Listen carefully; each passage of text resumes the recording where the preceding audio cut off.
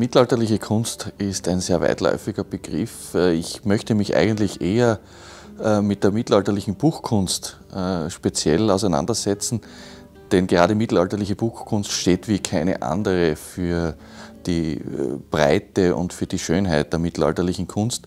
Das hat mehrere Gründe. Die mittelalterliche Kunst ist ein, ein, ein, ein, ein Kunstbereich, der über tausend Jahre reicht. Tausend Jahre eine reiche Entwicklung äh, der Kunst zeigt und insofern eine große Bedeutung hat, als dass gerade in den äh, mittelalterlichen Handschriften, die auf uns gekommen sind, die Farbgewalt, wenn man so sagen will, noch unverfälscht erhalten ist. Denn wenn man denkt an Tafelgemälde oder Fresken oder andere Kunstwerke, äh, die aus dem Mittelalter auf uns gekommen sind, so sind die Umwelteinflüssen äh, ausgesetzt gewesen. Und diese Umwelteinflüsse haben einfach äh, die Farben verändert, haben das Aussehen verändert. Man denke etwa an die Restaurierung des großen letzten Gerichts von Michelangelo in der Sistina. Man sieht hier, wie die Farbwelt dann nach der Restaurierung völlig anders ausgesehen hat. Und in mittelalterlichen Handschriften sind diese Miniaturen von Buchdeckeln geschützt gewesen über Jahrhunderte. Bücher sind auch immer als Schätze bewahrt und äh, gehütet worden und entsprechend gut erhalten und einzigartig gut erhalten sind äh, Miniaturen, Farben in äh, mittelalterlichen Handschriften. Und daher sieht man heute noch die Farbwelt von vor 1000, 1500 Jahren, wie sie die mittelalterlichen Künstler geschaffen haben in den Farben, wie sie heute sind. Äh, und das Ganze hat natürlich auch ein Problem, denn mittelalterliche Handschriften äh, sind sehr heikel.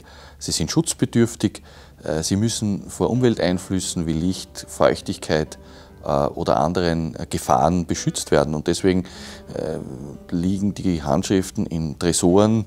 Und das Ganze ist natürlich dem zweiten Auftrag, die Bibliotheken haben, nicht gerade förderlich, nämlich sie sollen diese Handschriften nicht nur bewahren und schützen, sondern sie sollen sie eigentlich auch der Nachwelt, der, der Öffentlichkeit präsentieren können. Und das ist mit einer Originalhandschrift sehr schwierig, wenn nicht manchmal sogar unmöglich, je nach Erhaltungszustand.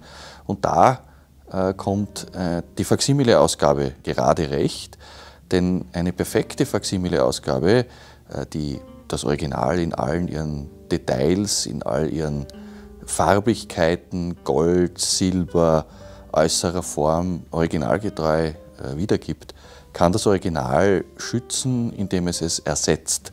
Für Forschung, für Ausstellungen, ja sogar für die Tatsache, dass man ein solches Kunstwerk an sich auch zu Hause haben kann als privater Sammler. Dieses Faksimile gibt die Farbwelt des Mittelalters unverfälscht äh, wieder und schützt gleichzeitig äh, das wertvolle Original vor unnötiger äh, Benutzung.